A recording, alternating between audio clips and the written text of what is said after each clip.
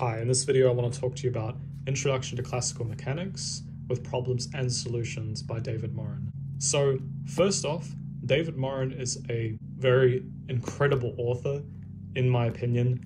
Um, I've read multiple of his books now. I think they are, they really do stand out as incredible texts. And this, this text here is probably one of the best ones I have read by him. So we can see that this book is printed by Cambridge Press so you can pretty much guarantee if a book's printed by Cambridge Press, it's good quality. And that's the case here. Excellent sort of hardcover. As you can see, good binding, good hardcover, pretty much always by Cambridge Press. So jumping right into the book, also note that the pages on here have got a pretty glossy finish. So good paper quality and just good overall printing quality by Cambridge Press, as always. Introduction to Classical Mechanics, Problems and Solutions. David Morin, Harvard University, Cambridge University Press.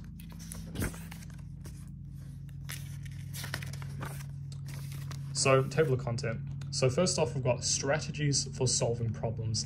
Now, this book is really different and in a really good way too. First off, as we can see, strategies for solving problems.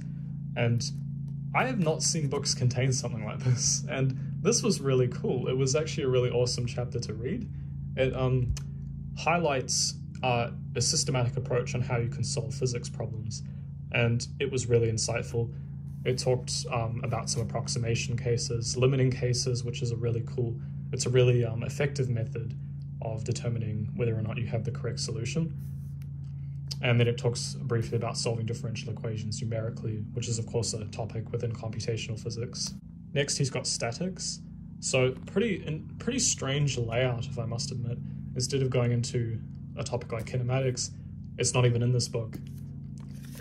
He jumps right into Newton's laws, but specifically first starting with static systems. So he jumps right into both uh, forces and uh, torques, which I found interesting.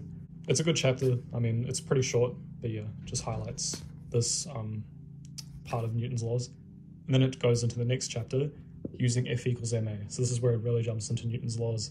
This is a good chapter. I feel like it talks about, um, specifically as you can see, it talks about differential equations uh, with Newton's laws, which I think is really important. I think it's interesting that he's mentioning it here in a introduction book, Motion in the Plane with polar coordinates as well. I think that's really good. Something that's really strange about this book, and this is probably one of the strangest books I actually have, and there's one reason for that. And he highlights here in his preface why that is. But this book is very, very strange. It is not an introduction to classical mechanics. Not kind not like the book by Kleppner and Kolenkow, where it's just a really, really rigorous, um, difficult introduction text. This book here, it's like it combines introductory introductory material and then it directly combines it with like second year or harder level material. And he states the reason for this is because the class he was teaching at Harvard, you um, did cover like an honors class. It covered sort of more introductory topics, but it also covered, of course, as you can see, the Lagrangian method and more advanced topics in mechanics. So it's a very strange course, and of course, hence it's a very strange book. But nevertheless, it doesn't take away from the fact that this book is an excellent text on classical mechanics. Next, we get into oscillations, and this is the, the difference that I was trying to make. This chapter pretty much exactly parallels the chapter on oscillations from Taylor's book, and hence this is a good book to use with Taylor for um, all the subjects that it does cover, that's also in Taylor. So as you can see, we've got the differential equation solutions to simple harmonic motion, damped harmonic motion, and driven harmonic motion. And, if, and interesting enough here, it covers coupled oscillations here as well, which I found interesting because in Taylor, of course, there's an entire chapter for coupled oscillations in normal modes. Next, we've got conservation of energy and momentum. This is more of a um, honors level topic. He doesn't really go into the level of Taylor, but nevertheless, it's still a, actually a really good chapter on conservation of energy and momentum. Particularly, it's talking about the center mass frame and all that kind of stuff that's um, really essential when discussing these topics. It's a really good chapter, in my opinion. And now he jumps into the Lagrangian method. Now, um, he doesn't do what Taylor does in Taylor. Uh, he has a whole chapter dedicated to variational calculus, but uh, in Morin he just jumps right into all the material um, for the Lagrangian method. Personally, uh, I think this chapter is pretty good. I mean, it sort of parallels Taylor's um, in lots of ways, but at the same time, I feel like this doesn't quite give you enough background for you to like truly appreciate the Lagrangian method of classical mechanics. So I think I still think it's a good chapter. I think it's good if you've got Taylor to also read this section. Um, it covers a lot of the same stuff, particularly like Noether's theorem. Over it also covers here, which I don't think it does cover in Taylor. I don't actually remember, but it covers small oscillations as well. And it does talk briefly here about the principle of stationary action. And I think it's good that he actually called it stationary action, not principle of least action. Next up, he's got central forces, and this is pretty much again, um, well, I mean, it, it kind of parallels um, Taylor's chapter on the on the subject as well. Talks about effective potentials. Next, angular momentum part one. So he has two parts here. Part one is kind of like the honors level material, and part two is like Taylor level material. So once again, very strange, very strange book. So the part one, of course, it's, it's talking about a constant angular momentum. Um, of course, constant angular momentum vector, so it does, it's not changing, usually parallel to the axis of rotation. And of course, the general angular momentum is when it changes. Thus, you have things like the principal axes, inertia tensor, and of course, more advanced topics. And here he, dis he discusses gyroscopes, uh, symmetric tops, that kind of stuff, precession and nutation also. Um, this chapter is pretty good. I think it does a lot of things quite well, but I think it also sort of dumps in a bunch of unnecessary theory um, into this chapter. I feel like the notation in this chapter is a bit hard to follow. Uh, if you're wanting the mathematics, particularly, I'd much more recommend Taylor. I think that he does attempt to have to give you more of an intuition behind uh, gyroscopic motion and precession. Uh, I think he does succeed in some ways by doing that. So this is more of an intuitive chapter. I would probably recommend combining this with Taylor's chapter on um, rigid body dynamics. Accelerating frames of reference. This chapter is good. I think it does uh, relate to Taylor's chapter quite well. I personally really enjoyed this chapter as well. I read this alongside Taylor. I think it's good. It's got pretty much the same topics. Then it jumps into relativity. So of course we've got first we've got the kinematics of relativity surrounding the difference between the Galilean and the Lorentz transformations and velocity additions, that kind of stuff. It talks about Minkowski diagrams. And next, of course, we've got relativity and the dynamics portion of special relativity. So this talks, of course, about um, the consequences of the kinematics. Then it has a whole section here on four vectors, which I thought was actually really good. Then it discusses at the end here some general relativity principles. And I thought this was kind of cool that it just sort of introduced you to sort of the concepts behind GR. Then we've got some appendices where it's got some multivariable and vector calculus results and just some, uh, uh some also some linear algebra results, particularly for the section on um, the inertia tensor. Now the content in this book is good, as I just said. I think it's good content. I think uh, Morin is an excellent author. I think he is quite, he has a good pedagogical style, um, but also is fairly rigorous in his treatment.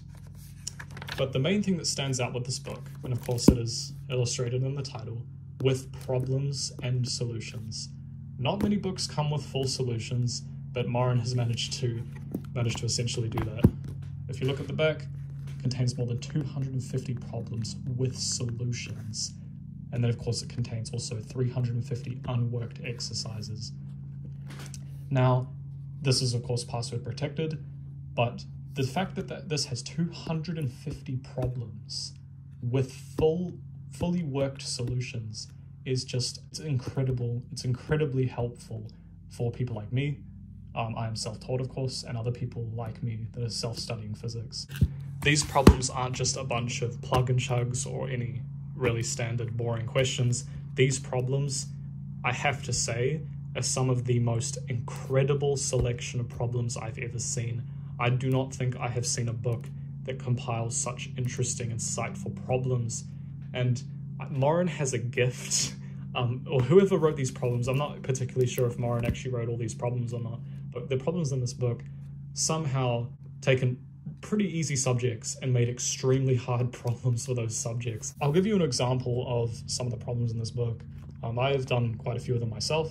Um, I'm still, of course, working just through the problems in this book because um, there are so many of them. But this is a great book. A book like Morin is you can continuously just come back in your free time and just sort of revise a lot of your physics, but also just have a really fun time doing so.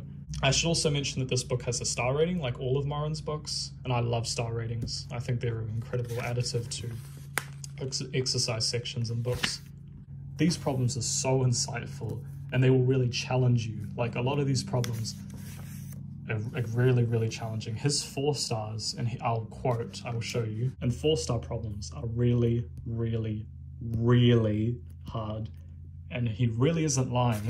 These four stars um, are very difficult problems. I've I've never quite seen problems of this difficulty before, but they're really fun to go through. They're really just fun to challenge yourself and work on them. And since there's so many of them in this book, you're really not short for difficult problems. And one more thing that Morin does illustrate, and I also think this is very important, and I will um, relay it here as well. When solving questions, when you get the opportunity to read a book as good as this and look at uh, problems as good as this, really go through them as much as possible. Like, do not look at the solutions until you've come up with a solution yourself. That is really the principle I go by because if you just get stuck on a problem and immediately look at the solution, you're not going to gain much from that problem. And you also probably won't enjoy it as much. But the reality is, some of these problems might take you a very long time to solve, and that's okay. It's fine if they take if they take a long time to solve, because doing so and having to go through that struggle will really um, make the knowledge and the information you know about the topic really sink in, and that's how you get good at math and physics is by doing math and physics, and you will struggle with problems. Um, and he illustrates this heavily in all of his books that you really should come up with a solution yourself first before you look at a solution. Even if you do get stuck, just go back through the chapter, read read the examples, etc., and just try and come up with the solution yourself. And I think that's a really good principle to, to go by. And then here's a section of exercises which do not have solutions. These are mainly for instructors that want to assign homework problems. And these are, again, very good problems, really fun to work on, as you can see. And of course, he's got the solutions to each question. And these are fully worked solutions. So overall, I think if you're studying classical mechanics, whether you're studying honors classical mechanics or uh, classical mechanics at the level of Taylor, so like your second course, this book is a no-brainer. Pick it up. It's actually a pretty cheap price too. I think I only got this for like roughly 50 or 60 New Zealand dollars. So it's actually a really cheap hardcover from Cambridge University Press, but it's still a very good quality hardcover. So yeah, just overall, this book is really good to anyone who's learning classical mechanics or just anyone that really likes solving problems, especially difficult problems. This is just a no-brainer. Buy it now. It's just incredible.